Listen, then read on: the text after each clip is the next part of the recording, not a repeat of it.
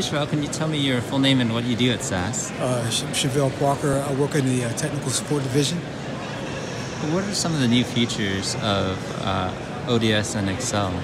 Well, there are quite a few new features. Uh, beginning in SAS 9.4 M4, there's a new flow equal option, which allows your data to flow within the cell.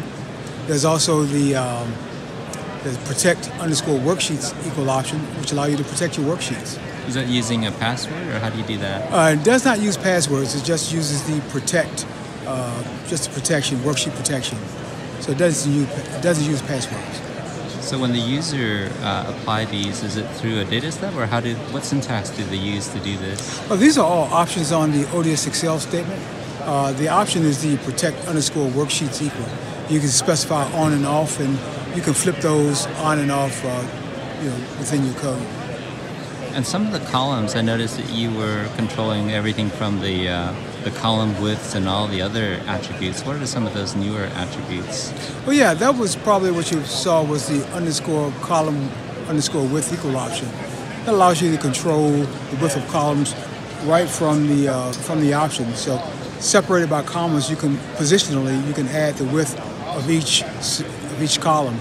Uh, and beginning in SAS 9.4 M4, you can also add a unit of measure such as points, pixels, centimeters, millimeters, and so forth. That's nice. I saw also saw the formatting that you were using everything from, uh, you know, the color red and all these different Excel type uh, formats. Right. Is it just any Excel format or a specific subset? Oh, that's a good question. Um, actually, there are two types of formats uh, accepted with ODS Excel Destination. Uh, the easiest and the most basic is SAS formatting. Any SAS format that you apply will actually get applied or converted to an Excel format, com the comparable Excel format. Uh, you can also use the TAGATTR equal attribute to specify your own Excel format. And with that, we don't validate it. However, if you pass it as valid, it will do whatever it should do. That's nice. Um, I noticed you had a formula in one of uh, no Excel formula. Right. How, do, how did you implement an Excel formula in uh, from SAS?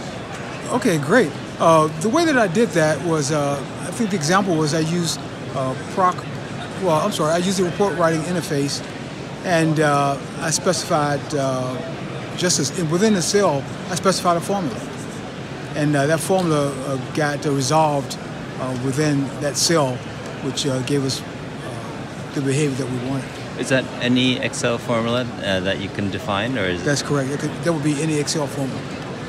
And you also applied a filter. How did you do that? oh, that was a great question. Yeah. Okay, yeah, actually, that was the same example, I believe. Uh, what I did was, uh, with the report writing interface, I added, uh, with the first row, I added a couple of headers. Then in the second row, I added the actual, uh, the subtotal formulas for both those values. And then uh, with the ODS Excel statement, I added the option auto filter equal all. So my second table, which was generated with a proc report or proc print, it had filters on all the headers. So the, the good part about that example was once you filter, it updated all of the headers, the subtotals up top, the filters that I had. So that was a that was an example of this. Very nice. Yeah. You mentioned that it's part of the data reporting.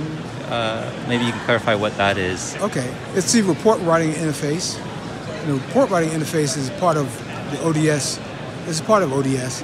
Uh, so you can use that amongst uh, most of our ODS destinations, like uh, you can use it with PDF, HTML, uh, Excel, and uh, and with SAS 9.4 M5, we now have the ability to add formatting, Excel formatting, uh, using the TAGATTR equal attribute. With, uh, so the report writing interface is that part of the data step, or there's no procs or anything like that? Is that no, right? that, that is the data step. It's, okay. uh, this is the ODS version of the data step. Okay, but it's all object oriented, all right? object oriented. That's correct. Okay. And what is the first version of SAS that we can start using the report writing interface?